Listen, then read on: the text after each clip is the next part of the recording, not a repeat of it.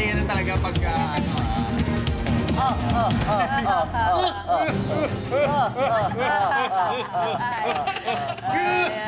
Okay, ano na? Hoy ah! Mga ka-brunch, wada! Hoy! Huwebes na mga bes! Kaya naman tara pag-usapan ng iba't ibang klaseng emosyon. Kaya naman, Oh, ipinatawag namin kayong lahat dito sa aming punong tanggapan. Kung saan ano man ang inyong pinagdaraanan, tanggap namin yan. Yan. Ayan, kaya naman, sama-sama nating bususin ang iba't ibang klaseng tampo, irita, mood swings o anumang uri ng sumpong. Dahil dito sa aming headquarters, lahat ng feelings ay valid. Sa ating mas bago, mas pinatapang, may puso na... Sumpungan HQ! Tanggapan ng sumpong! Nakahusay! napakahusay. Ayan, nakikita na natin ang liwanag. Ang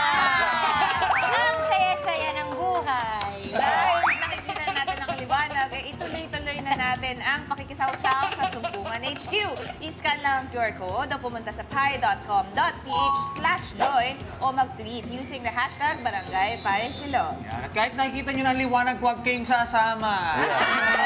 Dito kayo sumama at makisali sa aming ah, interactivity. Eh, no? Dito meron kayong pagpipilian. Meron yung love it o hasad and angry. Pero alam mo, nga yung interactive thing. Sana tayo din makapag-bonding na makapag-decorate din tayo. no? Oo. Oo. Alam mo, na-excite ako nung pinag-usapan natin yung decorations. Di ba, as uh, brunch kada, As a brunch kada. meron tayong magawa ko na yung mga chimenea.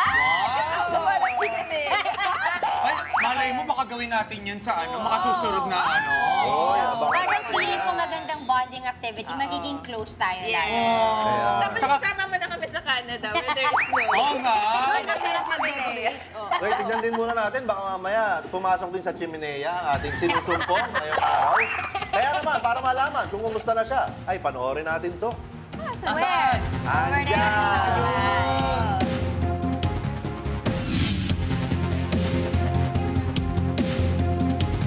Marami akong nakikita sa social media na ginajudge nila pag call center kasi uh, they never know what they feel, yung pagod.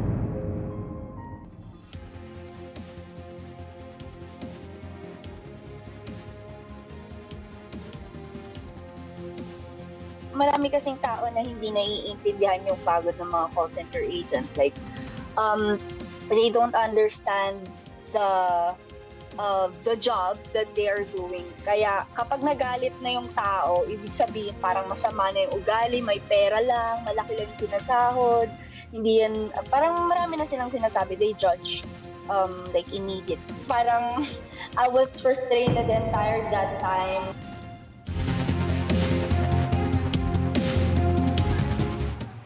Ano nga yung kinukwento niya? Na, ano, na agent. ginajudge sabi, nila. oh, Na minamaliit na Naku. parang call center lang yan. Ay. Ganun yung tingin. Hawakan mo yan. Galit ako sa ganyan. Oo, sila lang sila bilang Oo, baka, Baka makapunan. Pero ito na nga, para malaman na natin ang buong kwento, papasukan na natin sa ating tanggapan ang sinusumpong for today, 23-year-old former call center agent from Baguio City, Francesca Avelin Ruiz. Avelin Trinidad. Hi, Francesca! Hi! Do you have a nickname? Ano bang nickname mo na mas madaling itawag namin sa'yo? Or mas Flash ka na lang po. Cheska. Cheska. Para feeling close mo kasi kami. Oo. Dahil feeling close kami, pautang. Uy, tanungin natin si Cheska. Mm. Ilang taon ka o gaano ka katagal nagtrabaho bilang isang call center agent? Oh, actually, hindi po ganun katagal. Um, a year lang po ako nag-work as call center agent and then pumasok yung pandemic, I decided to start na mag-freelancing and then my um, brother-in-law helped me to uh, have a job like a freelancer sa home base po.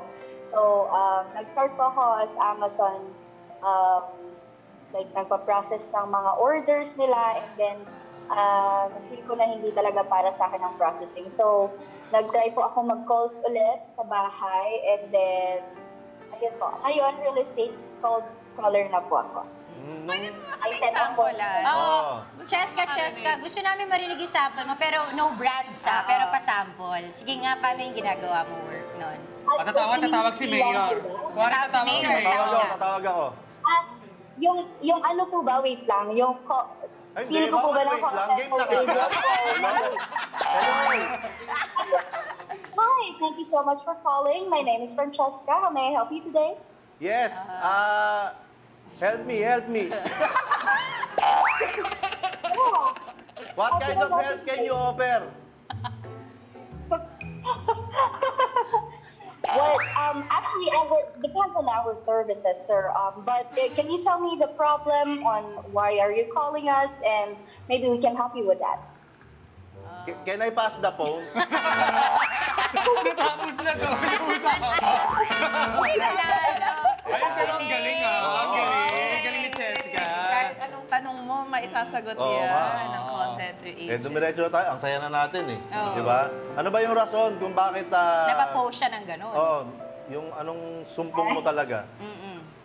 Actually, that time po, pagod po talaga ako, frustrated. And then, um, marami akong friends na nasa call center agent na pagod din sila, like, nag-rant sila, ang hirap ng trabaho, ayoko na, pero kailangan kong kumita. And then, nata- na- naalala ko na, ako, isa din ako sa mga nag nagmamaliit sa mga call center agents um, na hindi nakatapos yung mga iba. And then, nung pinasok ko yung trabaho na yun, na-realize ko na sobrang hirap. Kaya kapag may nagra-run sa akin na call center agent, nakilala ko, friend ko, um, relative, parang I, I hear them out and then spill it out, ganun. I'm here to listen, ganun. Pero ano ba sa tingin mo reason bakit minamaliit ng mga tao yung mga call center agents? Ano ba yung kadalasan mong naririnig na um, Sinasabi. oo, na sinasabi tungkol sa inyo? Unang-una po, um, yung iba, misjudge talaga na hindi nakatapos yung mga nagko-call center agent.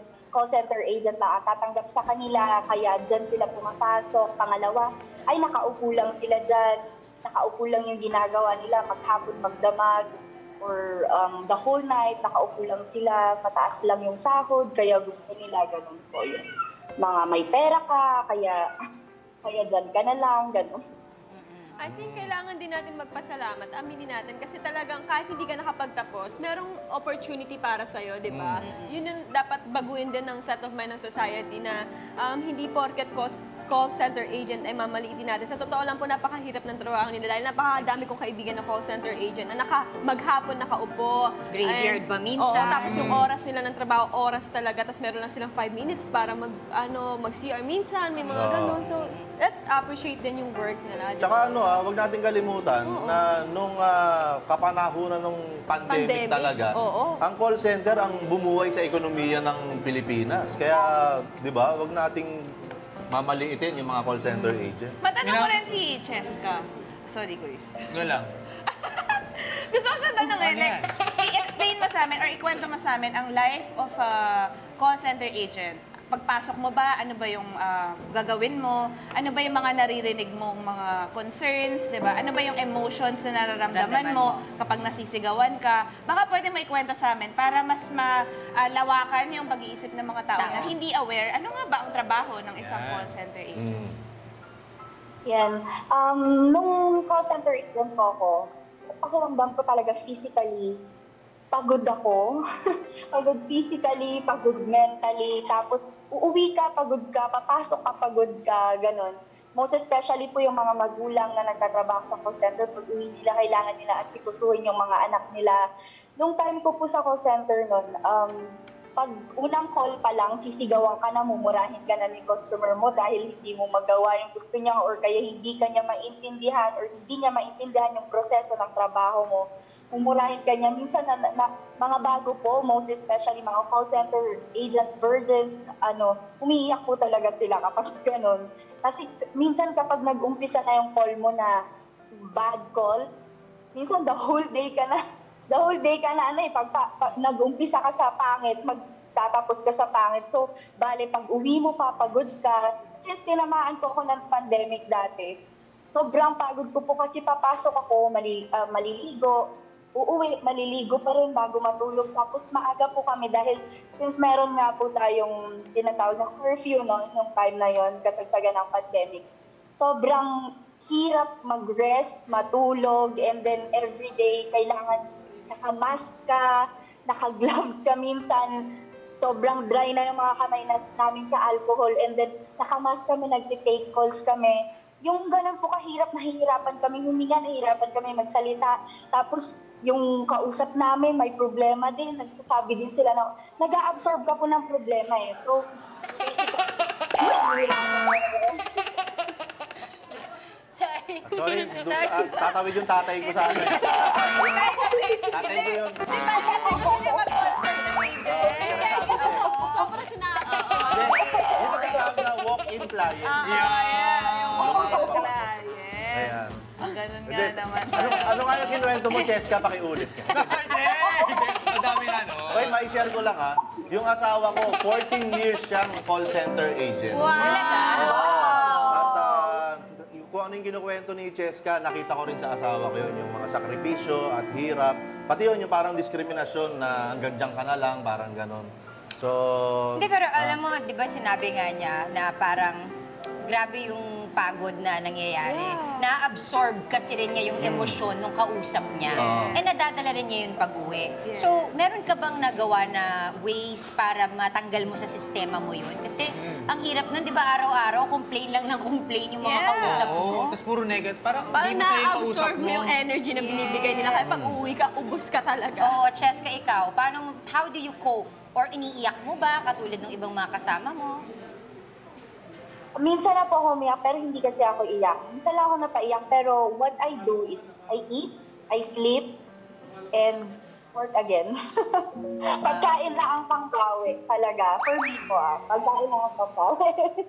Uh, mukhang masiyahin naman kasi talaga si Cheska. Maganda kanyang disposisyon. Pero naisip ko lang, no, sana meron ding call center para sa mga call center, no? Yung doon sila pwedeng tumawag pag ah, may nambabas sa kanila. Pag, Meditation. oh, pag may problema sila, no? Nan- nandito naman ang. Pwede naman dito nila idudulog yan.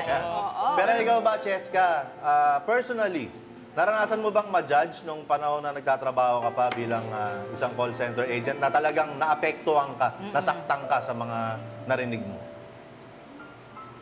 yes po, Pero actually meron bago mo sagutin yan ng tuluyan, pansamantala natin puputulin ang ating linya. Pero kami ay babalik para kausapin muli si Cheska. Oy, Nagulat ka sa'yo. wag ka nga alis ha. Babalikan ka namin. ang sabihin natin dyan. Yes, ma'am. May, may we just put you on, On hold? Yeah. Ah, okay. Agad, tuloy mo na, tuloy mo na. Dahil mamaya masibigyan pa natin ng makabuluhang talakayan itong usapan natin with Cheska and syempre may makakasama tayo mamayang sumpong hero. Yes. Kaya abang-abang lang dito sa aming headquarters kung saan ang lahat ng feelings ay valid. Yeah. Sa mas matapang na kwentuhan at mas may pusong chismisan, dito lang yan sa... Sumbungan HQ! HQ! Tanggapan ng sumpuan! Tayo magkatatawid tayo ha. Ka lang. Puntahan kita dyan ha.